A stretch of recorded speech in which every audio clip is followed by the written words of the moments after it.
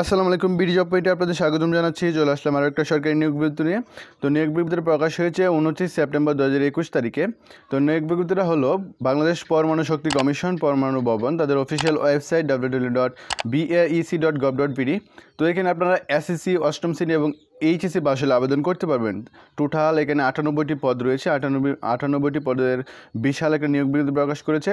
তো এখানে আমি ধাপে ধাপে আপনাদেরকে প্রত্যেকটা পদের বিস্তারিত আলোচনা করব। তো অবশ্যই ভিডিওটি ধৈর্য সহকারে দেখবেন। এখানে আপনার শিক্ষাগত অনু আপনার শিক্ষাগত যোগ্যতা অনুযায়ী এখানে অনেক পদ রয়েছে, তো আপনার যে পদটি পছন্দ হয় সেই পদে অবশ্যই আবেদন করবেন এবং কীভাবে আবেদন করবেন প্রার্থী বয়সটা কত চাওয়া হয়েছে এই নিয়ে বিস্তারিত আলোচনা করব, ঠিক আছে? তো প্রথমে পদের আলোচনা করব, তারপর প্রার্থীর অন্যান্য যোগ্যতা নিয়ে আলোচনা করব, ঠিক আছে? তো এখানে দেখেন প্রথম যে পদটি সেটা হলো সাইন্টিফিক অ্যাসিস্ট্যান্ট ওয়ান পদের সংখ্যা রয়েছে ষাটটি। এখানে আপনারা এইচএসসি বিজ্ঞান বিভাগ অথবা এসএসসি বিজ্ঞান বিভাগ সহ সরকার অনুমোদিত কোনো প্রতিষ্ঠান হতে ন্যূনতম ছয় মাসের ট্রেড কোর্স সার্টিফিকেট প্রাপ্ত হতে হবে। দুই নম্বর যে পদটি, সেটা হলো টেকনিশিয়ান ওয়ান।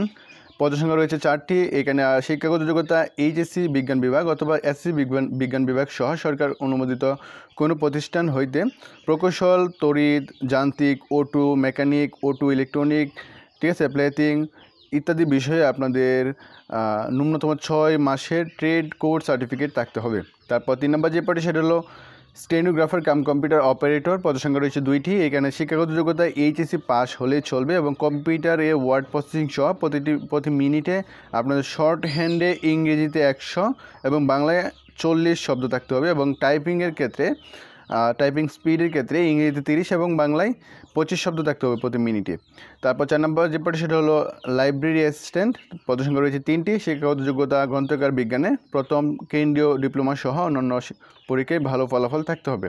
পাঁচ নম্বর যে পদটি সেটা হলো steno typist cum computer operator পদসংখ্যা রয়েছে চারটি, এখানে আপনাদের শিক্ষাগত যোগ্যতা এসসি পাস এবং কম্পিউটারে ওয়ার্ড প্রসেসিং সহ প্রতি মিনিটে আপনাদের শর্ট হ্যান্ডে ইংরেজিতে আশি শব্দ এবং বাংলায় তিরিশ শব্দ থাকতে হবে এবং টাইপিংয়ের ক্ষেত্রে আপনাদের ইংরেজিতে তিরিশ শব্দ এবং বাংলায় পঁচিশ শব্দ থাকতে হবে প্রতি মিনিটে। ঠিক আছে? ছ নম্বর যে পটে সেটা হলো সাইন্টিফিক অ্যাসিস্ট্যান্ট টু এটার পদসংখ্যা রয়েছে তেরোটি। শিক্ষাগত যোগ্যতা এইচএসসি বিজ্ঞান বিভাগ অথবা এসএসসি বিজ্ঞান বিভাগ সহ সরকার অনুমোদিত কোনো প্রতিষ্ঠান হতে ন্যূনতম ছয় মাসের ট্রেড কোর্স সার্টিফিকেট থাকতে হবে।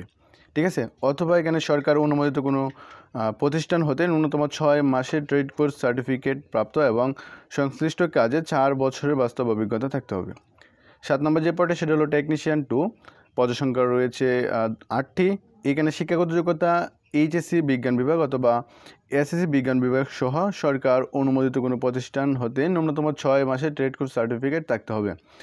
অথবা সরকার অনুমোদিত কোনো প্রতিষ্ঠান হতে ন্যূনতম ছয় মাসের ট্রেড কোর্স সার্টিফিকেট প্রাপ্ত এবং সংশ্লিষ্ট কাজে আপনাদের চার বছরের বাস্তব অভিজ্ঞতা থাকতে হবে। আট নম্বর যে পদটি, সেটা হলো কম্পিউটার টাইপিস্ট পদসংখ্যা রয়েছে দশটি। শিক্ষাগত যোগ্যতার মধ্যে এখানে এসএসসি পাস হলে আবেদন করা যাবে এবং কম্পিউটারে ওয়ার্ড প্রসেসিং সহ টাইপিংয়ে প্রতি মিনিটে সর্বনিম্ন গতি ইংরেজিতে তিরিশ শব্দ এবং বাংলায় বিশ শব্দ থাকতে হবে।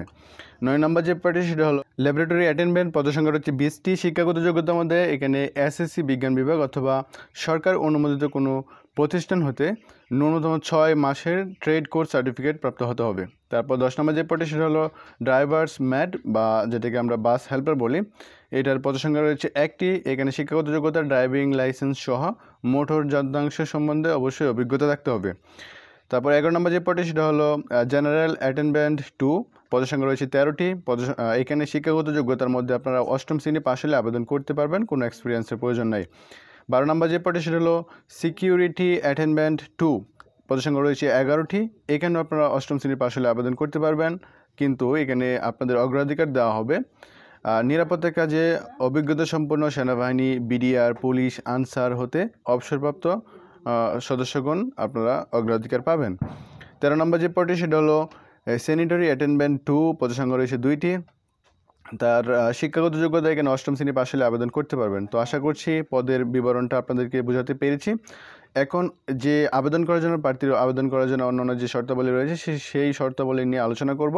তো আপনার যে আপনার শিক্ষাগত যোগ্যতা অনুযায়ী যে পদে আপনারা আবেদন করবেন, অবশ্যই আবেদন করে ফেলবেন।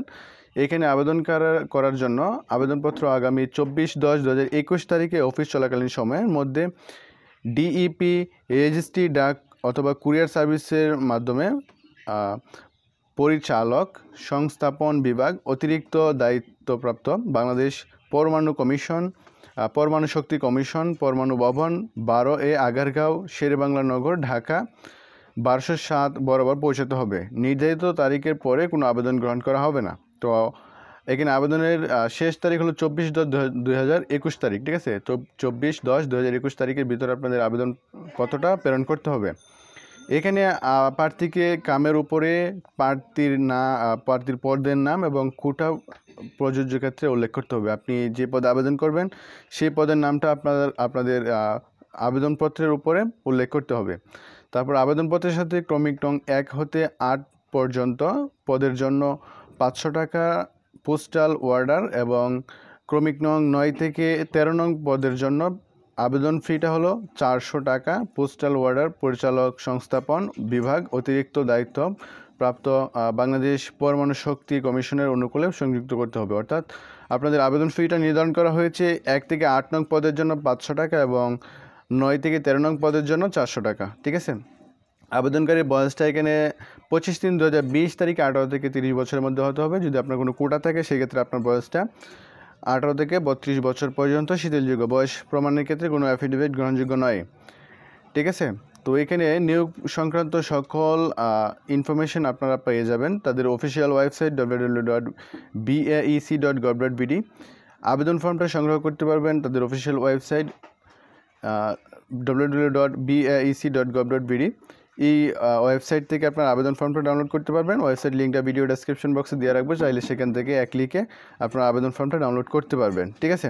তো অবশ্যই অবশ্যই প্রার্থীকে প্রত্যেক প্রার্থীকে আবেদনপত্রের সাথে দশ টাকার মূল্য মূল্যমানের ডাক টিকিট সহ তার বর্তমান ঠিকানা উল্লেখপূর্বক নয় দশমিক পাঁচ ইঞ্চি লম্বা এবং চার দশমিক পাঁচ ইঞ্চি প্রস্থ সাইজের একটি ফেরতকাম অবশ্যই সংযুক্ত করতে হবে।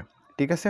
তো এই ছিল আজকের ভিডিও ভিডিওটি ভালো লাগলে অবশ্যই লাইক দেবেন। ভিডিও সম্বন্ধে কোনো মতামত থাকলে আমাকে কমেন্ট করে জানাবেন। দেখা হচ্ছে নেক্সট ভিডিওতে সে পর্যন্ত সবাই ভালো থাকুন, সুস্থ থাকুন। আল্লাহ হাফেজ।